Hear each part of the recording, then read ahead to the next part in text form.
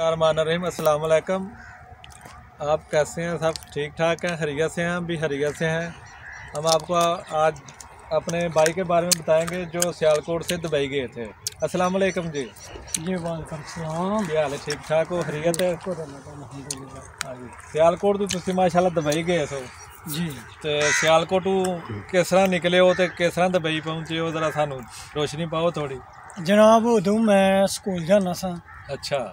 ਤੇ ਤਕਰੀਬਨ ਮੇਰੀ ਉਮਰ ਅੱਜ ਤੋਂ ਇਹ ਤਕਰੀਬਨ ਕੋਈ 21 22 ਸਾਲ ਪਹਿਲਾਂ ਦੀ ਗੱਲ। ਠੀਕ ਹੋ ਗਿਆ। ਜਦੋਂ ਮੈਂ ਦੁਬਈ ਗਿਆ। ਮੇਰਾ ਸ਼ਨਾਖਤੀ ਕਾਰਡ ਵੀ ਨਹੀਂ ਸੀ ਬਣਿਆ। ਹਾਂਜੀ।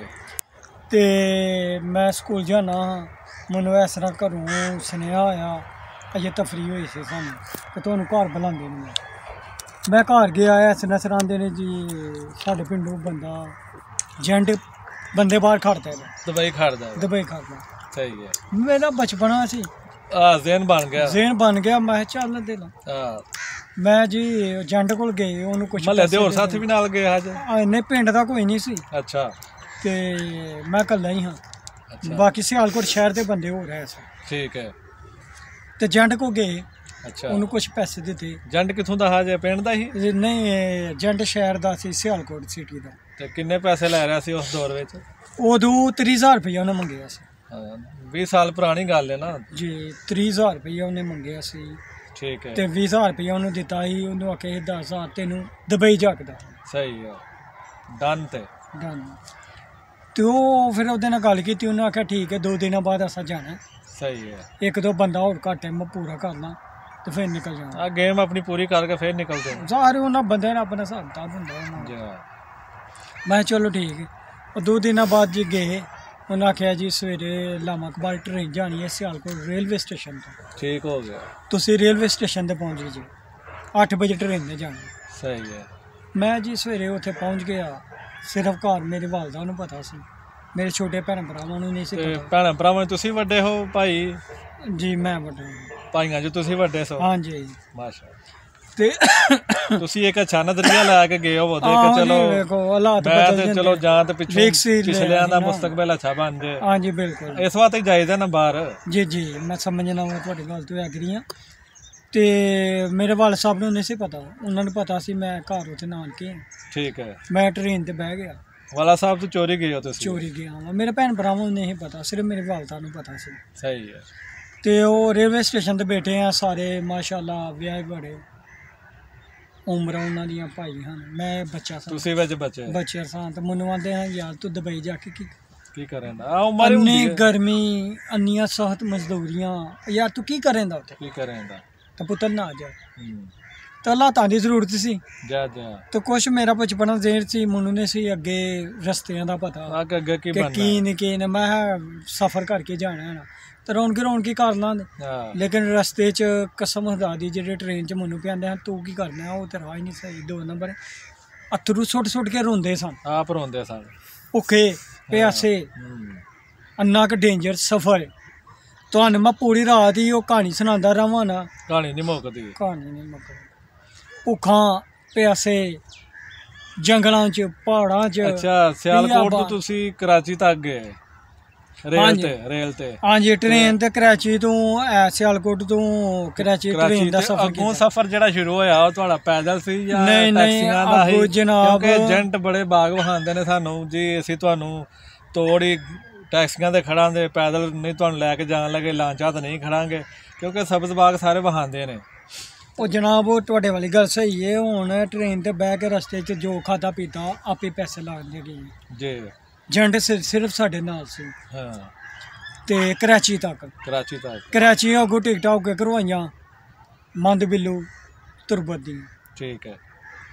ਉਹ ਅਸੀਂ ਕਰਾਚੀ ਕੋਸਟਰਾਂ 'ਚ ਲੀ ਮਾਰਕੀਟ ਚਾਕੀਵੇਰ ਚਾਕੀਵੇਰੀਆ ਏਰੀਆ ਉੱਥੋਂ ਅਸੀਂ ਬੈਠੇ ਆ ਕੋਸਟਰਾਂ 'ਚ ਨਵੀਆਂ ਗੱਡੀਆਂ। ਕਰਾਚੀ ਦੇ ਸ਼ਹਿਰ 'ਚ ਜਦੋਂ ਬਾਹਰ ਨਿਕਲੇ ਰੋਡ ਜ਼ਬਰਦਸਤ ਟੱਪ ਟਾਪ ਜਦੋਂ ਬਾਹਰ ਨਿਕਲੇ ਆ ਨਾ ਕੋਈ ਰੋਡ ਨਹੀਂ ਕੋਈ ਕੁਛ ਨਹੀਂ। ਹਾਂ। ਇਹ ਗੱਡੀਆਂ ਭੈਣ ਚ ਰਸਤਿਆਂ 'ਚ ਦੌੜਦੀਆਂ ਜਾਂਦੀਆਂ ਡਰਾਈਵਰਾਂ ਨੇ ਚਿਰਸਾਂ ਪੀਤੀਆਂ ਨੇ।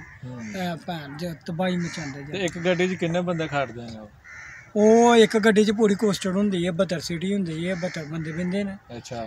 ਅੱਗੂ ਜਾ ਕੇ ਜਦੋਂ ਮੰਦ ਬਿੱਲੂ ਉਤਰਦਾ ਹੈ ਨਾ ਮੰਦ ਬਿੱਲੂ ਜਾ ਕੇ ਅੱਗੂ ਫਿਰ ਉਹ ਜਿਹੜੀਆਂ ਪਾਕਿਸਤਾਨ ਆਮ ਤੇਲ ਸ਼ੇਲ ਵਾਲੀਆਂ ਵੈਗਨ ਹੁੰਦੀਆਂ ਨੇ ਉਹਨਾਂ ਵਿੱਚ ਪੈਰਾਂ ਭਾਰ ਬਹਿ ਕੇ ਆਪਸ ਚ ਜੁਟ ਕੇ ਵੀ ਵੀ ਪੰਜ ਪੰਜ ਬੰਦੇ ਅਸੀਂ ਬਹਿ ਕੇ ਜਾਂਦੇ ਹਾਂ। ਹਾਂ, ਬੜੀ ਮੁਸੀਬਤ ਬਣਦੀ ਹੈ ਉਹਨਾਂ ਨੇ ਵੀ ਪਹਾੜਾਂ ਦੇ ਵਿੱਚ ਉਹਦੀ ਖੜਨਾ ਹੈ। ਹੂੰ ਤੇ ਇੰਨਾ ਡੇਂਜਰ ਰਸਤਾ ਰਸਤੇ 'ਚ ਕਈ ਚੈੱਕ ਪੋਸਟਾਂ 'ਚ ਪੈਸੇ ਦੇਣੇ ਨੇ ਕਈ ਉਤੋਂ ਦੀ ਹੋ ਕੇ ਚੋਰੀ ਕਰਾਸ ਕਰਨੀਆਂ ਨੇ ਹਾਂ ਤੇ ਜਨਾਬ ਬਹੁਤ ਹੀ ਮੁਸ਼ਕਲ ਸਫ਼ਰ ਬਹੁਤ ਹੀ ਮੁਸ਼ਕਲ ਜ਼ਿੰਦਗੀ ਔਰ ਮੌਤ ਦਾ ਕਿੰਨੇ ਪੂਰਾ ਘੰਟੇ ਮਸਲਾ। ਤੁਸੀਂ ਉਹ ਅਮ, ਗੱਡੀ 'ਚ ਕੱਢੇ ਜੇ ਪੈਰਾਂ ਭਾਰ ਬੈਠੇ ਸੋ ਕਿੰਨੇ ਘੰਟੇ ਲੱਗੇ? ਜਨਾਬ ਦਿਨੇ ਖਲਾਰ ਛੱਡਦਾ ਸੀ ਸਾਈਡ ਤੇ। ਹੂੰ। ਰਾਤੀ ਹਨੇਰੇ 'ਚ ਸਫ਼ਰ ਕਰਦਾ ਸੀ। ਦਿਨੇ ਬਾਅਦ ਤੁਹਾਨੂੰ ਕੱਢ ਲੈਂਦੇ ਹਨ? ਦਿਨੇ ਬਾਹਰ ਸਾਨੂੰ ਕਿਸੇ ਗੁਫਾ ਵਿੱਚ ਪਹਾੜ ਦੇ ਸਾਡੇ ਇੱਕ ਸਾਨੂੰ ਬੀਆਬਾਨ ਤੇ ਛੱਡ ਛੱਡਦੇ ਆ। ਹੂੰ। ਕਿ ਇੱਥੋਂ ਤੁਸੀਂ ਹਿੱਲਣਾ ਨਹੀਂ। ਸ਼ਾਮ ਨੂੰ ਫੇਰ ਜਾਣਾ। ਸ਼ਾਮ ਨੂੰ ਫਿਰ ਰਾਤ ਦਾ ਸਫ਼ਰ ਕਰਦੇ ਸਨ। ਸਹੀ ਹੈ। ਤੇ ਸਾਨੂੰ ਬਹੁਤ ਹੀ ਪਿਆਸ ਭੁੱਖ ਰਸਤੇ 'ਚ ਤੇ ਉਹ ਪਾਣੀ ਛਾਣੀ ਖਾਣ ਵਾਸਤੇ। ਕੁਝ ਨਹੀਂ ਹਨ ਦਿੰਦੇ ਬਹੁਤ ਘੱਟ ਸ਼ਾਰਟਕਟ ਰਸਤੇ 'ਚ ਕਿਹੜੀਆਂ ਦੁਕਾਨਾਂ ਨੇ ਕਿਹੜੀਆਂ ਸ਼ਾਮ ਨਹੀਂ ਨਹੀਂ ਉਹ ਸਾਰੀ ਗੱਲ ਜਿਹੜੇ ਚੋਰ ਰਸਤਾ ਸਾਰਾ ਡੇਂਜਰ ਰਸਤਾ। ਸਹੀ ਹੈ। ਬੜਾ ਨਿਜ਼ਾਮ ਹਾਂ। ਨਹੀਂ ਸਹੀ ਹੁੰਦਾ। ਮੈਂ ਸਾਰਿਆਂ ਨੂੰ ਇਹ ਆਖਣਾ ਕਦੀ ਵੀ ਇਸ ਪਿੰਡ ਨਾ ਪਵੇ ਤੇ ਤੁਸੀਂ ਮਾਸ਼ਾਅੱਲਾ ਫਿਰ ਦੁਬਈ ਪਹੁੰਚੇ ਜਨਾਬ ਮੈਂ ਰਾਣ ਪਹੁੰਚਿਆ। ਉਸ ਗੱਡੀ ਨੇ ਸਾਨੂੰ ਰਾਣ ਲਾਇਆ। ਕਾਫੀ ਸਫ਼ਰ ਬਾਅਦ। ਸਹੀ ਹੈ। ਰਾਣ ਤੋਂ ਅਸਾਂ ਉਹਨਾਂ ਸਾਨੂੰ ਰੋਟੀ ਪਾਣੀ ਦਿੱਤੀ ਇੱਕ ਕਮਰੇ 'ਚ ਬਾਲ ਕੇ। ਤੇ ਫਿਰ ਆਂਦੇ ਸਨ ਕਿ ਤੁਸੀਂ ਸਰਗੀ ਸਵੇਰ ਦਾ ਟਾਈਮ ਸੀ ਅਸੀਂ ਉਤਰੇ ਸਾਂ ਸਰਗੀ ਤੋਂ। ਤੇ ਆਂਦੇ ਹਨ ਕਿ ਰਾਤੀ ਤੁਸੀਂ ਤੂੰ ਕੈਕ ਦੇ ਬੈਨੇ ਸਿੱਧਾ ਮਸਕਤ। ਅੱਛਾ। ਤੇ ਉਹ ਫਿਰ ਅੱਲਾ ਦੀ ਕਰਨੀ ਹੋਈ ਕਿ ਰਾਤੀ ਸਮੁੰਦਰ ਤੇ ਬੜੀਆਂ ਤੇਜ਼ ਲਹਿਰਾਂ ਉਹ ਅਸੀਂ ਸਾਨੂੰ ਉਹਨਾਂ ਨਾ ਖੜਿਆ। ਕਿਹਾ ਕਿ ਸਮੁੰਦਰ ਦੀ ਹਾਲਾਤ ਨਹੀਂ ਠੀਕ ਹਾਂ। ਲੈ ਜਾ ਸਫ਼ਰ ਨਹੀਂ ਠੀਕ। ਤੇ ਕੈਕ ਛੋਟੀ ਸਾਰੀ ਹਾਂ। ਡੱਬੇ 'ਚ ਪਾਣੀ ਉਹਦੇ ਨਾਲ ਕੱਢਦੇ ਨੇ। ਉਹਦੇ 'ਚ ਤੇਲ ਦੇ ਦੋ ਡਰਮ ਦੇ ਹੁੰਦੇ ਨੇ। ਉਹਦੇ 'ਚ ਬੰਦੇ ਥੱਲੇ ਪਾਣੀ ਉੱਤੇ ਸਮਾਨ ਨਾ ਬੰਦਾ ਨਾ ਕੋਈ ਬੰਦੇ ਦੀ ਰਾਤ ਸਹੀ ਹੈ ਬਹੁਤ ਹੀ ਡੇਂਜਰ ਸਫ਼ਰ ਸੀ। ਦੁਬਈ ਤੋਂ ਤੁਸੀਂ ਨਹੀਂ ਪਹੁੰਚੇ ਹੈ ਨਹੀਂ ਦੁਬਈ ਗਏ ਆ ਰਾਂ ਤੋਂ ਮਸਕਤ ਮਸਕਤ ਹੋ ਗਏ ਪਹਾੜਾਂ 'ਚ ਹੋ ਗਏ ਤੇ ਫਿਰ ਦੁਬਈ ਜਾ ਕੇ ਤੁਸੀਂ ਫਿਰ ਕੋਈ ਕੰਮ ਸ਼ਮ ਕੀਤਾ ਕਿ ਜਾਂ ਇੰਜ ਹੀ ਵਾਪਸ ਆ ਗਏ? ਨਹੀਂ ਦੁਬਈ ਮੈਂ ਫਿਰ 5 ਸਾਲ ਰਹਿ ਕੇ ਅੱਛਾ ਆਇਆ ਅੱਛਾ ਅੱਛਾ। ਹਾਂਜੀ। ਦੁਬਈ ਰਸਤੇ 'ਚ ਅਸੀਂ ਰਾਣ ਵੀ ਸਾਡੇ ਤੇ ਛਾਪਾ ਪਿਆ। ਅੱਛਾ। ਕੁਝ ਬੰਦੇ ਫੜੇ ਗਏ ਮਸਕਤ ਜਦੋਂ ਜੰਗਲਾਂ 'ਚ ਉਤਰੇ ਸਮੁੰਦਰ 'ਚੋਂ ਉੱਥੇ ਸਾਡੇ ਨਾਲ ਦੋ ਕੈਕਾਂ ਹਨ ਉਹ ਇੱਕ ਪਠਾਣਾ ਦੀ ਸੀ ਉਹ ਡੁੱਬ ਗਈ। ਜੀ। ਤੇ ਉਹ ਯਕਦਮ ਉਤਰੇ ਨੇ ਇੱਕ ਸਾਈਡ ਤੇ ਹੋਏ ਨੇ ਕਹਿ ਕਹਿ ਸਾਰਾ ਪਲਟੀ ਖਾ ਗਏ।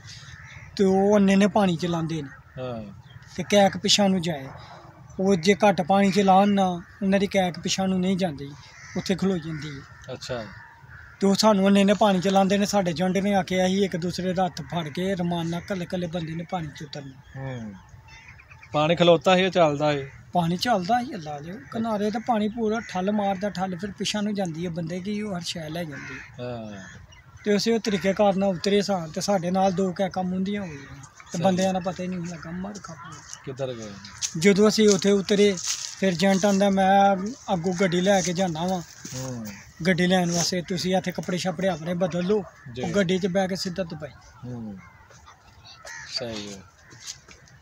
ਇਹਦਾ ਮਤਲਬ ਹੈ ਕਿ ਤੁਹਾਡੀ ਬੜੀ ਇਹ ਦਾ ਦਾ ਜਿਹੜੀ ਦਾ ਦਾਸਤਾਨ ਹੈ ਇਹ ਬੜੀ ਦਰਦਨਾਕ ਹੈ। ਹਾਂ ਲੰਮੀ ਇੰਨੀ ਜਲਦੀ ਖਤਮ ਨਹੀਂ ਹੋਣੀ ਬਾਕੀ ਫਿਰ ਹਾਂ ਠੀਕ ਹੈ ਜੀ ਸਬਸਕ੍ਰਾਈਬ ਕਰਿਓ। ਔਰ ਦੂਸਰੇ ਐਪੀਸੋਡ ਦੂਸਰੇ ਐਪੀਸੋਡ ਤੁਹਾਨੂੰ ਅਗਲੇ ਦੁਬਈ ਦੇ ਸਫ਼ਰ ਦੇ ਬਾਰੇ ਦੱਸਾਂਗੇ। ਤੇ ਘੰਟੀ ਦਾ ਬਟਨ ਦਬਾਇਓ ਸਬਸਕ੍ਰਾਈਬ ਕਰਿਓ। ਅੱਲਾ ਹਾਫਿਜ਼।